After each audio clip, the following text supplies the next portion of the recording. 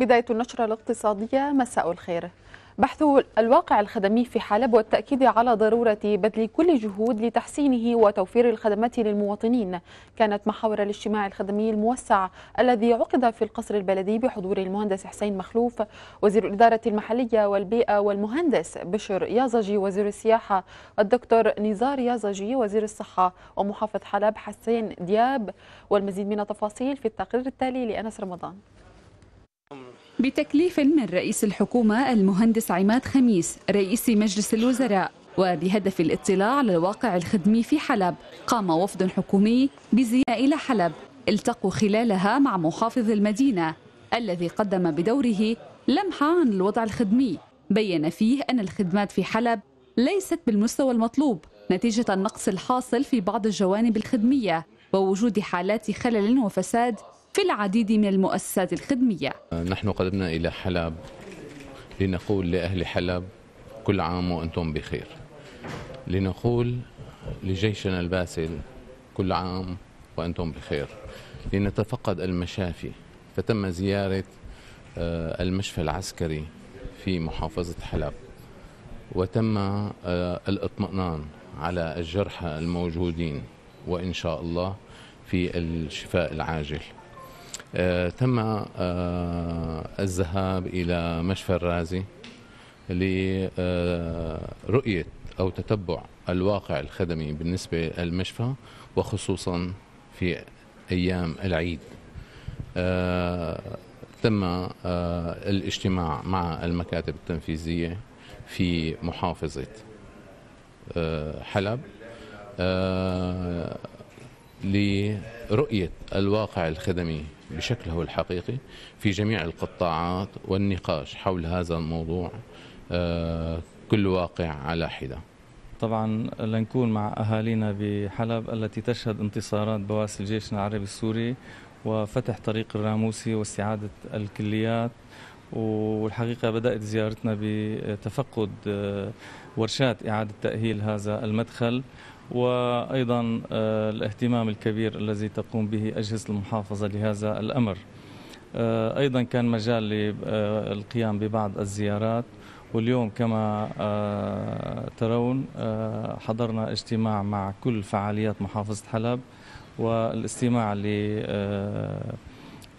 المقترحات والمطالب التي تهم حلب بإعادة تأهيل المناطق المحررة وخصوصا منطقة الليرمون اللي فيها مواقع إنتاج. وكما تعلمون نؤكد أن الأولوية بإعادة تأهيل لمواقع الإنتاج ومنها المناطق الصناعية والمدن الصناعية.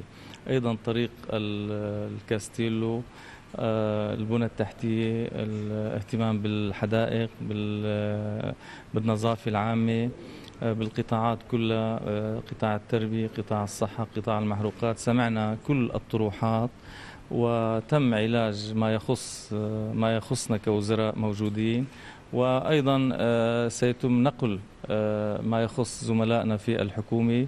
آه، لمعالجة كل هذه القضايا. لذلك اليوم نحن كان من خلال اجتماعنا من خلال جولاتنا كان في استعراض للبرنامج وأنا بعتبر إن شاء الله راح يكون في مرحلة جديدة بحياة حلب من خلال برنامج غني ومميز يستهدف تفعيل الإنتاج يستهدف مكافحة المظاهر التي تسيء لأهل حلب بشكل عام وأيضا بعض المظاهر اللي اللي اللي عانى منها آه، أهالي حلب وخاصة اليوم عم نحكي أيضا بتفعيل الانتاج وبعض التفصيلات المهمة من أجل تفعيل الانتاج ومن أجل أيضا تقديم كل ما يذلل الصعوبات والعقبات أمام آه، آه، يعني عودة الخدمات إلى حلب. وكان الوفد الوزاري قد قام بجولة على مركز خدمة المواطن في القصر البلدي تم خلالها الاطلاع على واقع المركز والتأكيد على توظيف المركز بشكل أفضل وزيادة عدد الخدمات التي يقدمها للمواطنين كما تمت زيارة مشفيي الرازي والشرطة ومتابعة الخدمات الصحية والعلاجية والإسعافية المقدمة.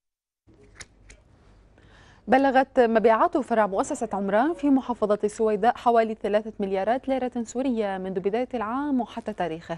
مدير فرع المؤسسة في المحافظة ياسر ملاك أشار إلى أن مبيعات الفرع ازدادت على عكس الفترة ذاتها من العام الماضي والتي وصلت إلى حدود 700 مليون ليرة سورية. وذلك نتيجة ازدياد الطلب هذا العام على مادة الإسمنت بسبب الحركة العمرانية التي تشهدها المحافظة.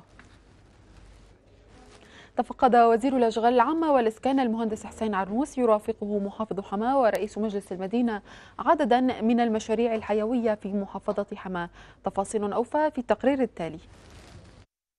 قام وزير الأشغال العامة والإسكان المهندس حسين عرنوس بجولة تفقدية على عدد من المشاريع الحيوية بمدينة حماة حيث اطلع برفقة المحافظ ورئيس مجلس مدينة حماة على مشروع عقدة الشريعة التي انتهت المرحلة الأولى منه.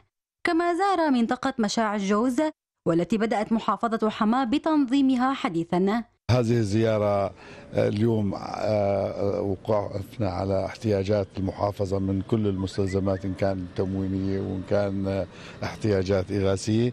ومن خلالها كذلك الأمر تفقدنا بعض المشاريع اللي مثل ما بتشوفوا اليوم جسر الشريعة هذا الجسر الحيوي والمرفق مرحلة من مراحل مهمة في عقدة الشريعة.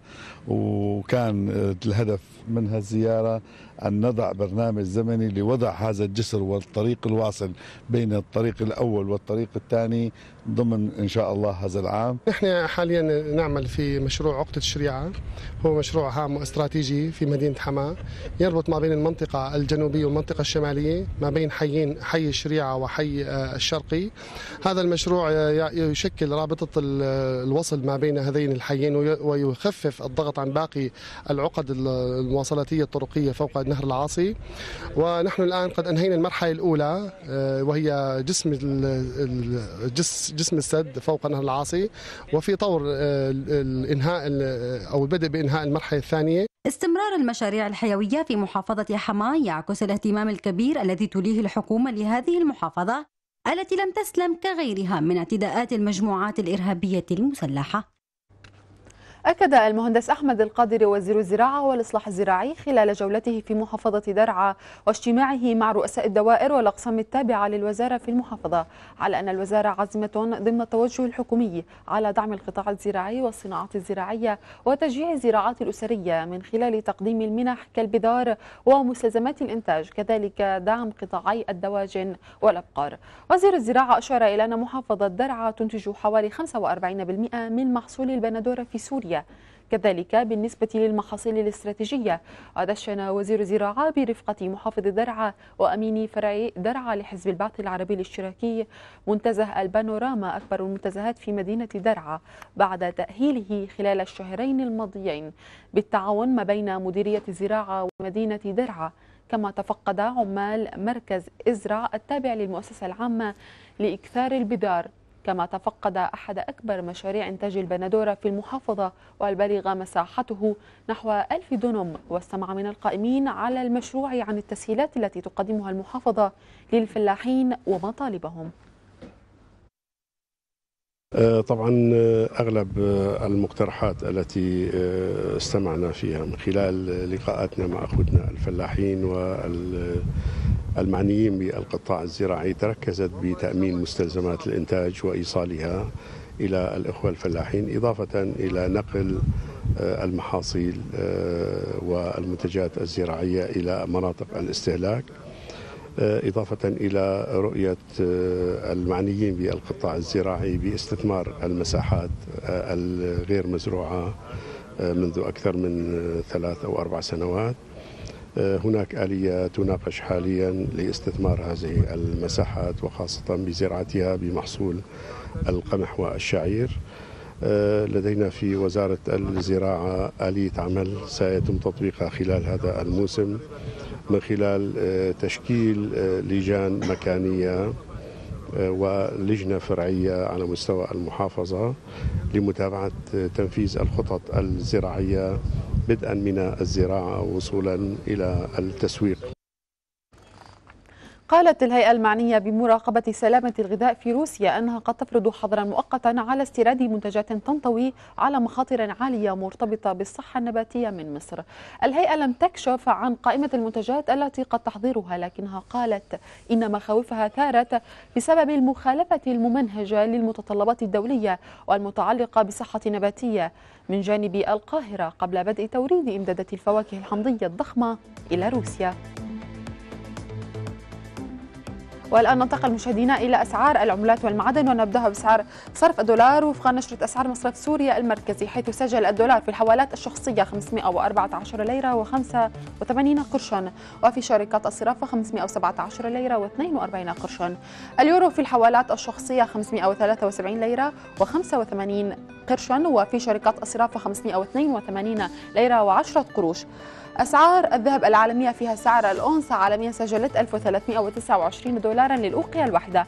أما أسعار الذهب في السوق المحلية فيها جرام ذهب عيار 21 19500 ليرة سورية وجرام ذهب عيار 18 16714 ليرة سورية. أخيرا أسعار النفط العالمي فيها سعر خام برنت 47 دولارا و58 سنتا أما الخام الأمريكي 45 دولارا و38 سنتا. مشاهدينا النشرة الاقتصادية انتهت.